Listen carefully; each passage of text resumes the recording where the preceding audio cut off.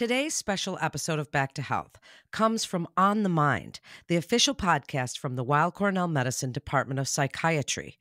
Hosted by Dr. Daniel Knoepflmacher, On the Mind focuses on discussions with renowned professors, leading researchers, and expert practitioners from Weill Cornell Medicine as they discuss the brain, mental health, and important questions on the mind. This conversation features Richard Friedman, MD, psychiatrist and author, as they discuss election year stress. Is American politics affecting our mental health? Hello, and welcome to On the Mind, the official podcast of the Weill Cornell Medicine Department of Psychiatry. I'm your host, Dr. Daniel Knoepflmacher. In each episode, I speak with experts in various aspects of psychiatry, psychotherapy, research, and other important topics on the mind. As we record this episode, we're about six weeks away from the 2024 presidential election. When describing the race for president, journalists use words like historic, unprecedented, and high stakes.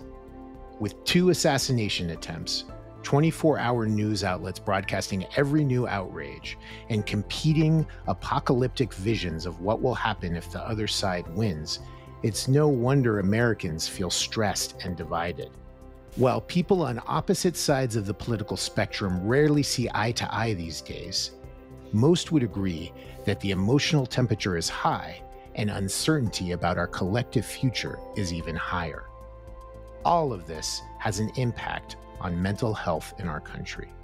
A 2020 study from the Journal of Economics and Human Biology used data from a national household survey that showed anxiety, depression, medication prescriptions, and mental health care visits all increased in the months leading up to the last presidential election. This is only one example of research that provides data for something we already know because we feel it whenever we turn on the TV or talk about the news with our friends and loved ones. So, on this special election year episode of the podcast, we'll examine the psychological and social impact of contemporary American politics and share some basic strategies for weathering the stormy news cycles in the weeks and months ahead. Fortunately, I have the perfect person to discuss all of this with me today, Dr. Richard Friedman. Who could be better suited to discuss mental health and national politics than an esteemed professor of psychiatry here at Weill Cornell, who also happens to be an established writer for The Atlantic and other major magazines and newspapers? Richard, you were the first guest to come on this podcast, and I'm really grateful to have this opportunity to have you back again. So thank you so much for joining me today. Daniel, it's my pleasure to be with you, as always. Well, I want to begin by asking you about the whole premise of our discussion of electoral politics and mental health. I hope you think this premise is valid because otherwise we're going to have a very short episode. So, Richard, do you think contemporary American politics is negatively impacting mental health in our country? I don't think there's a doubt about it. And this is always said about this kind of observation that these are anecdotal observations. But there's no question that the emotional temperature of the country in anticipating the outcome of this election is so high. We're so riven. We're such political polarization in the country that instead of disagreeing with one another, we demonize one another. And depending upon which political group you're in, you see the other as an enemy, not just as a fellow citizen or a fellow human being, but somebody who's actually bad, who has views and beliefs that are different from your own. So, yes, I would say that in this environment, there's no question that the polarization is having a negative impact on overall well being, emotional, psychiatric well being. Well, I ask you this question because while I believe that the increased attention that's being paid to mental health in this country, it's definitely an overall positive development for our society. I think it's led to destigmatization of mental illness. I think it gets more people seeking care that they need. That said, there have been concerns raised about how these trends in popular culture can lead to the pathologizing of normal human suffering And elections are part of a cycle every four years. So, tying this back to the election, where do you draw the line between people who are understandably upset about their side losing versus those who are struggling with clinically significant mental health problems? So I would say when you didn't make a distinction between everyday distress, which we all feel, unless you're not conscious, looking at what's happening in the world and in the country, everybody feels some level of upset and distress versus distress that gets in the way of your ability to function, to be effective in all the spheres of your life, your relationships, your work. That level of distress crosses the line from everyday distress, let's say, into clinical domain. Whether you're talking about anxiety, you're talking about depression. And I think that the level of everyday distress is higher. If you just look at what's going on on social media, whether it's YouTube or it's X or it's TikTok, it's ablaze with misinformation, disinformation, passionate views that are highly emotionally charged. And if you look at cable news, it's the same thing. So everywhere you go, you find highly emotionally stimulating material related to politics, and there's no getting away from it. Well, I love how when you were saying that, I heard a siren in the background here in New York City. So it was like entering the tension of New York City into your response.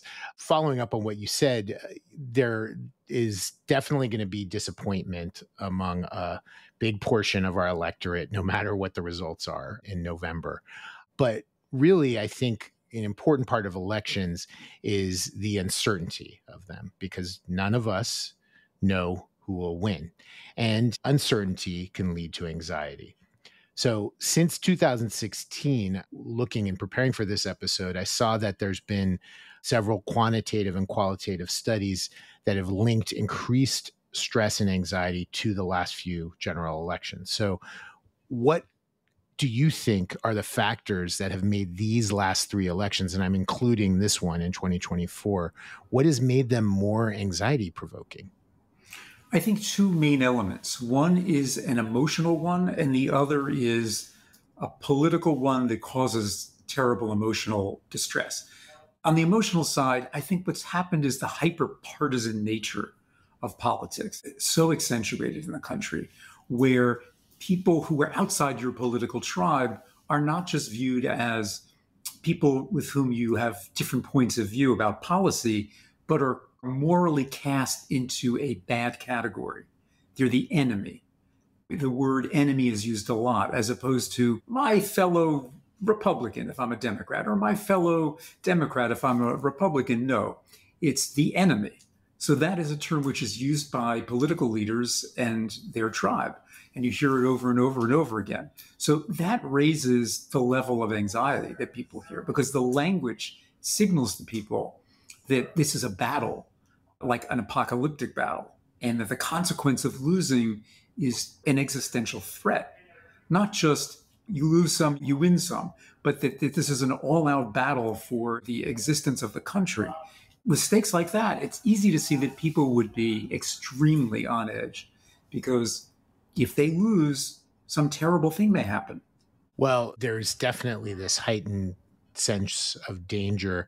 I'm just trying to contextualize that because we have to acknowledge that fear is a really effective tool for motivating people to do things and especially voting in this case. And I think of that famous Daisy ad that the Johnson campaign used against Goldwater with this little girl plucking petals and then ending in this huge mushroom cloud. So, thinking that that was happening in the 60s, I imagine there's been other major apocalyptic seeming stressors at other points. Do you think that the apocalyptic language that campaigns are using today is making people even more anxious than whatever somebody in 1964 was thinking with the specter of nuclear annihilation? Possibly, but I also think it's the behavior, the real life behavior, leaving nothing to the imagination, which has people legitimately concerned. Because if you have politicians who will literally say publicly that they may or may not accept the results of an election, you cast doubt about the very nature of the structure of government. And so if you're talking about uncertainty, if you tell people in a democracy that it's not clear whether elections can be legitimate, you essentially undermine the trust that people have in the very process that they have to participate in. So that adds to the sense of insecurity. And that's a real thing, that's not an imagined thing. So to distinguish between always with our patients, when they have anxieties, we say, well, that anxiety is exaggerated and that's a hyperbolic belief. In this case, you're actually listening to real statements of political leaders. And so some anxiety is warranted and is realistic. That's a really great point, which I hadn't thought of that the uncertainty comes even when your side wins. Because if the other side doesn't accept it and many people storm the Capitol, who knows what certainty there is, even from a normal, peaceful transfer of power. Yes. And you know, you pointed this out, Daniel, before that we've evolved to read uncertainty as not just an uncomfortable situation, but potentially a dangerous one. Because if you don't know what's around the corner, it gives you great adaptive survival advantage to assume it might be bad. So you prepare yourself when something is uncertain for something that might be unpleasant, whether you know it's an election or you're waiting for a biopsy result or any number of things. But if you also are told by political leaders that no matter what happens, they may not accept the outcome, how can you not be anxious? Well, you talked about this threshold between distress about the election versus psychiatric illness that could be diagnosed and perhaps addressed with treatment. And someone's distress might fall below or above that threshold. I'm wondering what groups would you say are more at risk for anxiety or depression during this election season? I would say you're dealing with a stressor that we all are feeling. But if you happen to have a known history of depression or an anxiety disorder, like generalized anxiety, or you have social anxiety disorder, you have panic attacks or obsessive compulsive disorder, you're much more likely to be set off by a social stress like an election and a highly polarized environment. And I think we're seeing this. I certainly see this in patients who I work with, very, very frightened and upset. And for all the reasons that we were talking about, but even more so because at baseline, they experience the world as an anxiety provoking place, even when it may not be. Imagine how they feel when it is. I've seen it in my practice as well. And one other or two other categories that come to mind, and I'd like to hear your thoughts on this, is I've seen it where there have been people who have undergone some sort of trauma that, let's say, they were refugees from another society where there was political upheaval and they're here and something about this rhetoric and election is particularly distressing for them. Another which makes sense. And I've actually seen some research about this with, I think, the 2016 election and members of the LGBTQ plus community, that there was heightened anxiety among groups that are marginalized by the rhetoric of a campaign. And certainly we're seeing that right now with Springfield, Ohio, where there's a specific targeting of a population. And there's no doubt that people are going to feel additional stress and anxiety as a result of that. So I'm curious to hear your thoughts on that. I'm glad that you brought that up because I think that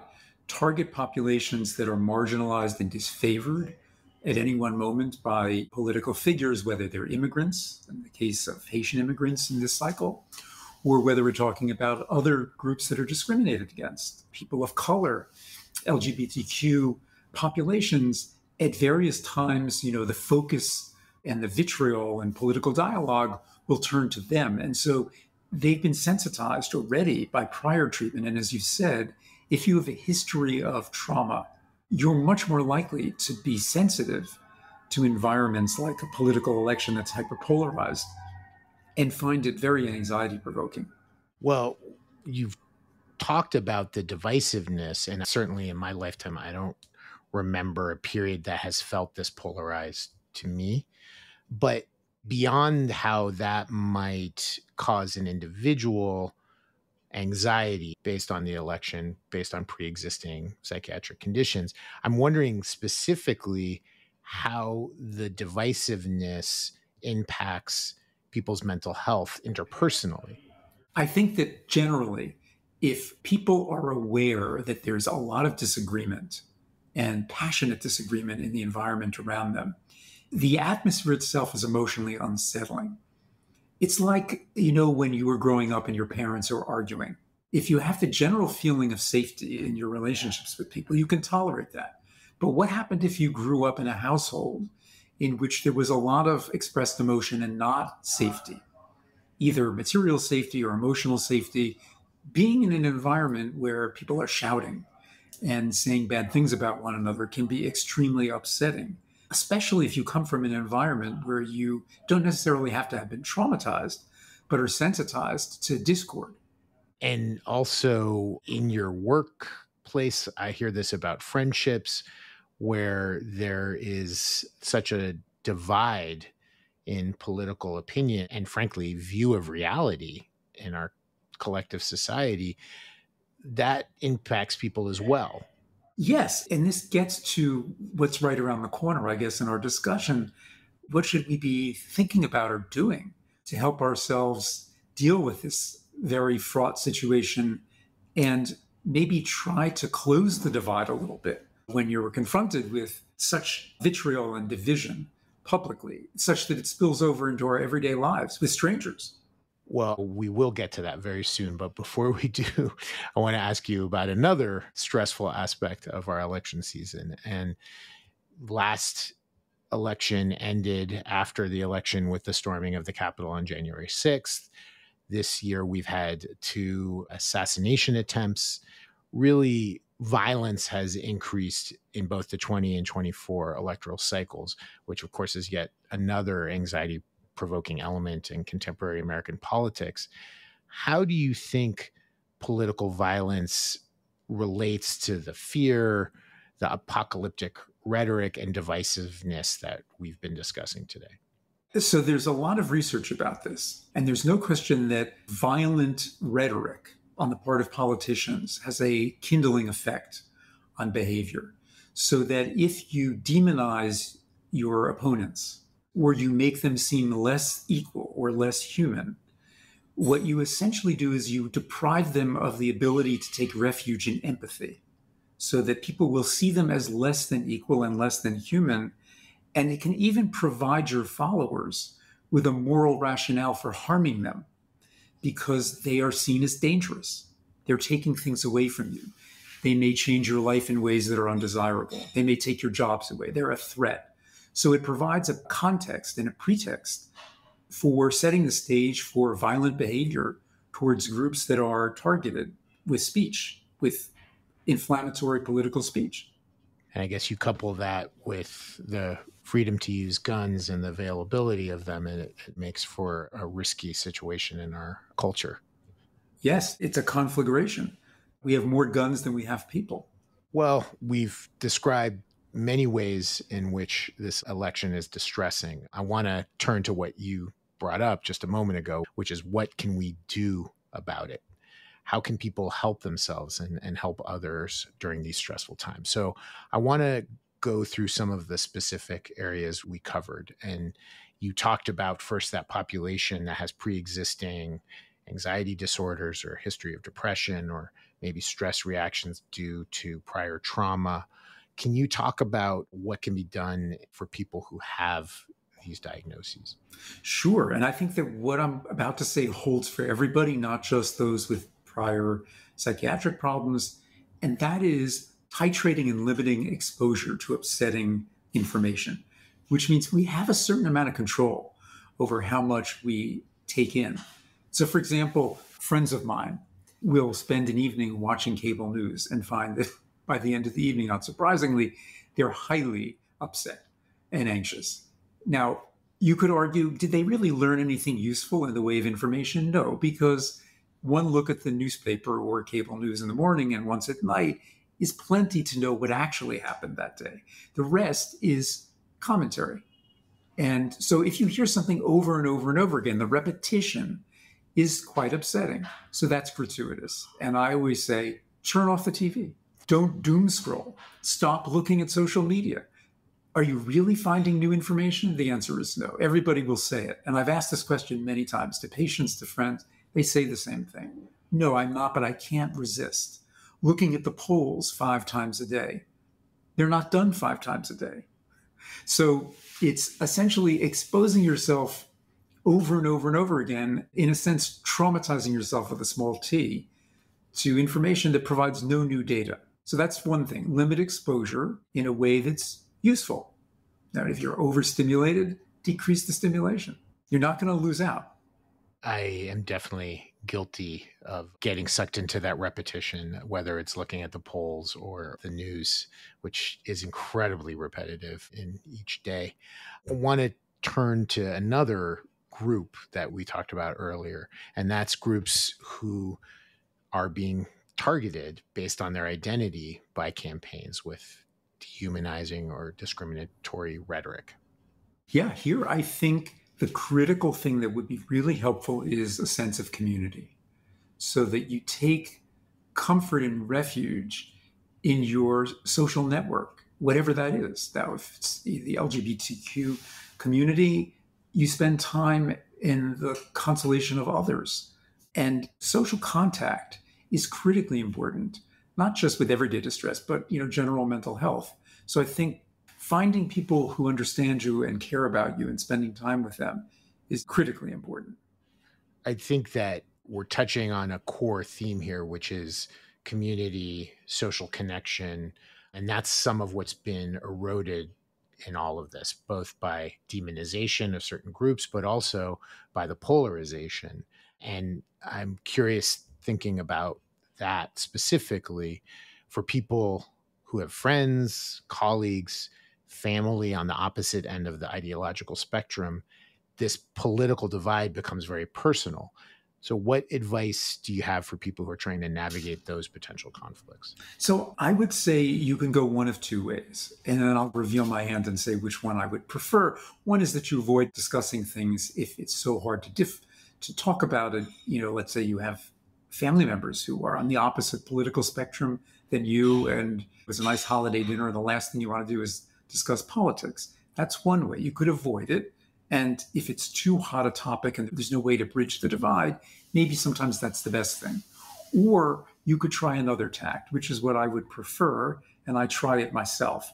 And that is a kind of exercise in thinking how do you talk to people who you know you disagree with, who you know are from the opposite tribe? How do you talk to people who believe very differently than you do? Well, it's a kind of exercise in empathy and I just want to stress at the outset, it doesn't mean you have to agree with them. It doesn't mean you even have to like them. But it does mean that you have to first withhold your judgment and try to learn about how they think. Meaning you have to be curious about them and understand and ask them. So tell me all about how you came to this view about your life and try to understand them. And it goes a long way actually in making people feel understood and heard they may not agree with you either, but they're actually anticipating that you're going to tell them something like, oh, you must be a terrible person if you're voting for X, Y, or Z.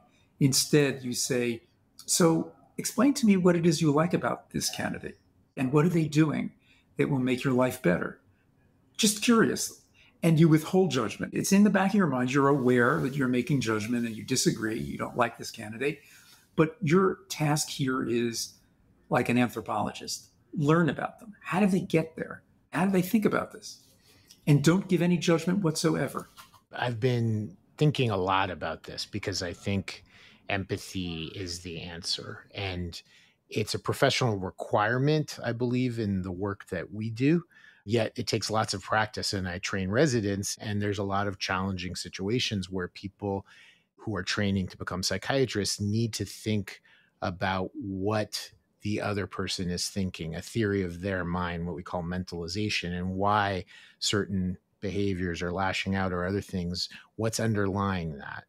And I've seen something written about certain empathy exercises that are, are similar to what you're describing. And one thing that they talk about is this idea of reflecting back what someone has said, which is something used in psychotherapy often. But letting somebody say their point of view and then reflecting it back to them to show that you understand what they're saying and where that's coming from. Is that part of this kind of exercise that you're describing? Yes, it's critical because it allows them to see that you have heard them and that you're considering what they say. And it gives them the sense of courtesy and the feeling that you actually were trying hard to understand their situation. And they and actually appreciate that. And you don't have to say, I don't agree with you or I agree with you. You just have to allow them to feel understood. And they could say, Oh, I can see what you like about this person. And you can follow up with other questions and other hypotheticals. And so I know you like this, but what about that? And what actually are you hoping that this candidate will do for you? And sometimes, depending upon how far things go, you can say, I'm curious, is there anything that you might learn about this candidate that might alter the way you think or feel about them in any of these areas or any of these topics. That's down the road somewhere. But yes, if you reflect back to them, I hear you, I understand, I see. Now I understand why this person is appealing to you. Using a curiosity in your approach. And I wanted to ask you if you can to talk a little bit about the neuroscience underlying this because we tend to be tribal as animals, as human beings. And the path to that us them thinking seems like it comes pretty quickly when our fear is activated. And I was looking at some MRI research about empathy. And man, empathy is a lot more complicated in terms of the interconnectivity in the brain that you have to activate in order to be empathic with another human being. So, could you speak a little bit about that? So, there is a lot of evidence that very early on in development, kids recognize members of their own group. And so you would think, well, the capacity for tribal identification is hardwired, and it is. But what's really interesting is even though that that is true, it's socially constructed. So to give an example, if you grow up in New York City, you're a Yankees fan or a Mets fan. And that's true. We are tribal, and your friends who are in Boston are rooting for the Red Sox. However, when you move to Boston and you're there long enough, guess what? You probably become a Red Sox fan. So the tribal identifications are hardwired. The capacity for thinking about in group and out group. What's really interesting is we're plastic as to the content, which tribe you happen to be on. It's like color board one year you're blue team, one year you're the, the yellow team, but it's the team you find yourself on at this moment in time. And what's very hopeful about this is though the capacity for being a member of a group is hardwired, membership itself is variable and subject to all kinds of social influence. So you can change this. And one of the ways to do it is to have personal contact with people who are outside your group. So it prevents you from seeing them as an exemplar, but you see them more as an individual instead of being like a gay person. This is Sam, my friend, who happens to be gay.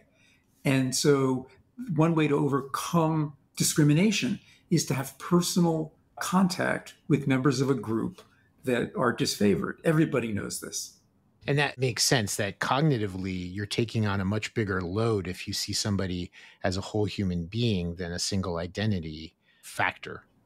Yes. You hear these stories over and over again, you know, where people who live in small towns where the received wisdom is they're not likely to be tolerant of members of an outgroup.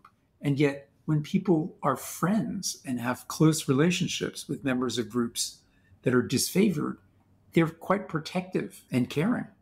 Well, we'll have to think about a national empathy effort, but to stick to smaller things, thinking about individuals, in psychiatry, we talk about defenses and we categorize these. And what these are are ways that psychologically we're able to handle negative affect, negative stress that we have psychologically based on certain things.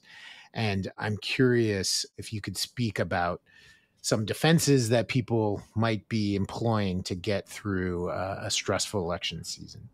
So they range, of course, from the defenses that we all use, from avoidance to sheer denial. No, uh, I don't like that scenario, and so it's not possible. You just simply flatly say, no, it's just not going to happen.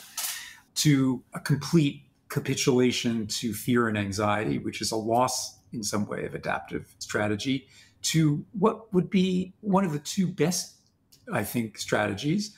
One is sublimation, where you know you take your anxiety and you take your distress and you use it in a way that helps you move forward. Like, for example, you could decide, you know what, I'm very upset about the situation. I'm getting politically involved and I'm going to volunteer and I'm going to throw myself into this and do all the work I can for the side that I identify with. Great demonstration of sublimation, right? You take this affect, this anxiety and distress, and you transform it into action. Or another one is humor. You make fun of yourself and the situation. Humor is a wonderful high order defense that allows us to have a sense of context, even dark humor. Uh, why do you think people love to listen to all these comedy shows? Because it makes this all bearable. I think humor has been a bigger part of this election cycle. And it's definitely an effective, what we call mature defense against stress and despair. And I think being funny is, as you said, is a way to create distance from some really uncomfortable truths and put them in a box that's more tolerable. But I want to ask you a little more about this because I'm wondering about a scenario. And could argue that maybe we're in this scenario, but I won't go out on a limb to say that. A scenario where a politician's impact on our country could be grave. Can then the humor defense maybe be problematic? And what I mean by that is because fear can be highly motivating and as you said can lead to sublimation or other ways to go into action is there a risk that turning real threats into laugh lines might make people less likely to mobilize for necessary change when it's needed? I think the critical element of that question is if it stops them from action if it helps them feel effective and not overwhelmed with affect so they're more likely to act then it's a great thing but if instead they take refuge in their humor and they substitute that for effective action, it would be catastrophic. Laughing all the way to the apocalypse would not be a good thing. On the other hand, if you are so anxious and so distressed that you are basically lying in a puddle of inaction, we don't want that either. So you want this balance, and humor, I think, can help achieve it. That's such a good point. This is not an all or nothing thing. You can sublimate, and when you get tired and worn out, still feel better by laughing. So it's a yes and. These are not mutually exclusive. Well, I'm going to wrap things up and ask you one last question. What do you advise to help people who are supporting a candidate who then ends up losing this election? What I would say is you may feel that the world is ending. You may have a sense of doom. You may have all of these terrible feelings, and they may be warranted in some instances, especially the election that we're looking at.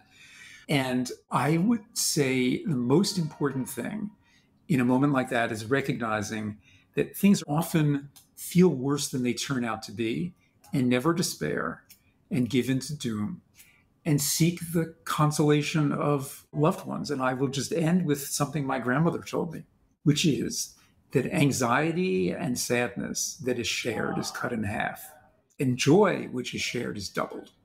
Well said. And that gets back to this theme of social connection as so protective for all of us.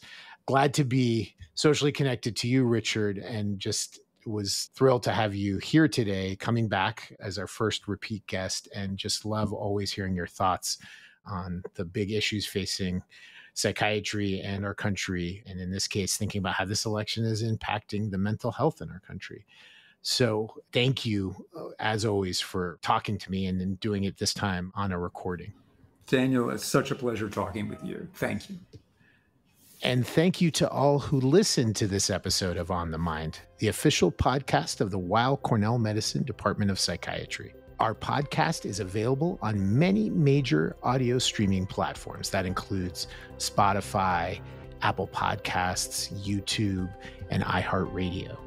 If you like what you heard today, please give us a rating and subscribe because if you do, you'll be able to stay up to date with all of our latest episodes. Please tell all of your friends about us. And of course, don't forget to vote on November 5th.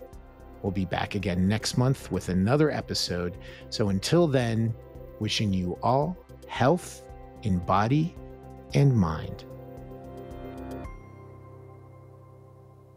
Thank you so much for listening to today's special episode of Back to Health. We'd like to invite our audience to download, subscribe, rate, and review Back to Health on Apple Podcasts, Spotify, iHeart, and Pandora. And for more health tips, go to weillcornell.org and search podcasts. And parents, don't forget to check out our Kids Healthcast. I'm Melanie Cole. Back to Health is your source for the latest in health, wellness, and medical care for the whole family. Our team of world renowned physicians at Weill Cornell Medicine are having in depth conversations covering trending health topics, wellness tips, and medical breakthroughs. With the spotlight on our collaborative approach to patient care, the series will present cutting edge treatments, innovative therapies, as well as real life stories that will answer common questions for both patients and their caregivers. Subscribe wherever you listen to podcasts. Also, don't forget to rate us five stars. All information contained in this podcast is intended for informational and educational purposes. The information is not intended nor suited to be a replacement or substitute for professional medical treatment or for professional medical advice relative to a specific medical question or condition. We urge you to always seek the advice of your physician or medical professional with respect to your medical condition or questions. Weill Cornell Medicine makes no warranty, guarantee, or representation as to the accuracy or sufficiency of the information featured in this podcast, and any reliance on such information is done at your own risk. Participants may have consulting, equity, board membership, or other relationships with pharmaceutical, biotech, or device companies unrelated to their role in this podcast. No payments have been made by any company to endorse any treatments, devices, or procedures, and Weill Cornell Medicine does not endorse, approve, or recommend any product, service, or entity mentioned in this podcast. Opinions expressed in this podcast are those of the speaker and do not represent the perspectives of Weill Cornell Medicine as an institution.